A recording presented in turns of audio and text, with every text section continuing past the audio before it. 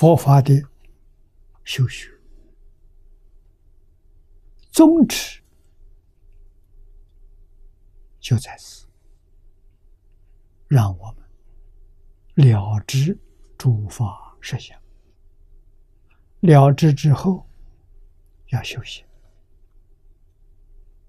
修是修正，行是行为。啊，我对于一切法，认为它是有，这个错了，你想错了，你看错了，把它修正过来。一切法是什么？一切法是梦，一切法是幻，一切法是想。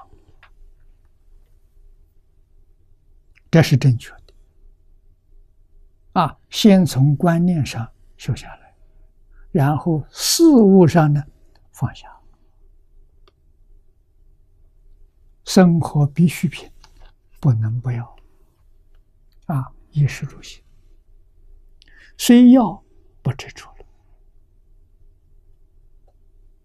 啊，对于人事物。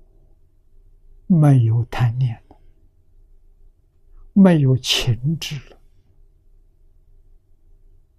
哎呀，这样说起来，学佛的人没钱，没情没义了，是不是？不是的，虚情假意没有了。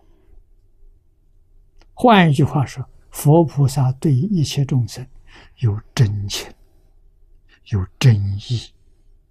是真的，不是假的。有真慈悲，叫真爱。啊，这个是永恒不变，这真。会变的，假的。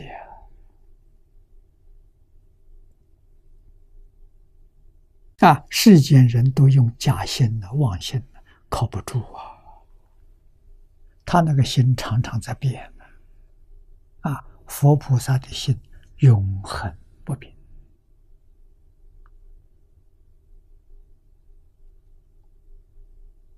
啊！我们礼敬他，他对我们慈悲；我们怨恨他，他对我们还是慈悲。甚至于我们去是伤害他，去回报他。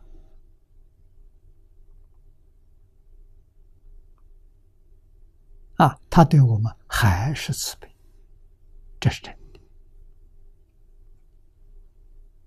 啊，我们世间恩会变成仇，父子是恩呐。为什么儿女叛逆，把父母当做仇人？啊这就是靠不住啊！啊，父子恩爱假的不是真的。小时候儿子真爱父母，长大就不爱了。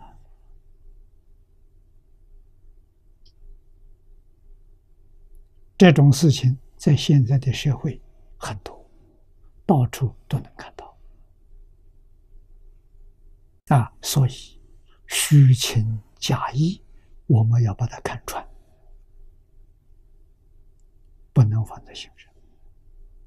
真心流露出来的是真诚的慈悲。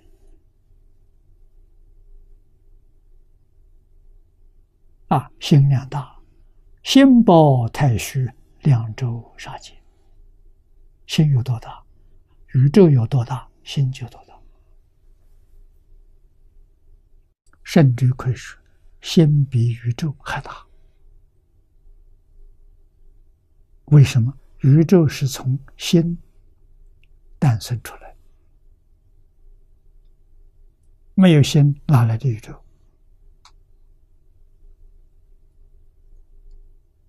这让我们知道我们的本性，我们的本性。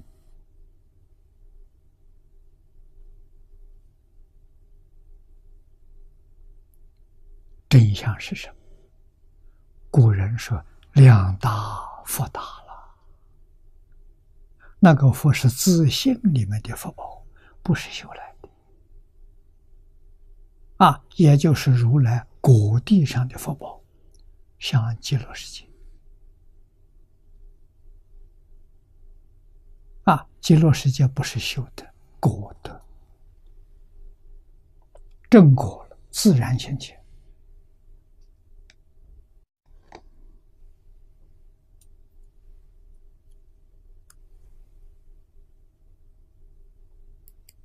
啊，读这部经，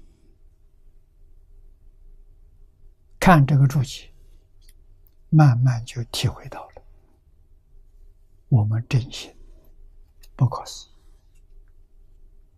啊！真心呢，太伟大了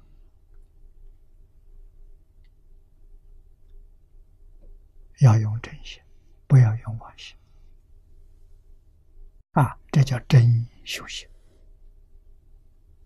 放下妄想、杂念，用真心啊，真诚心待人接物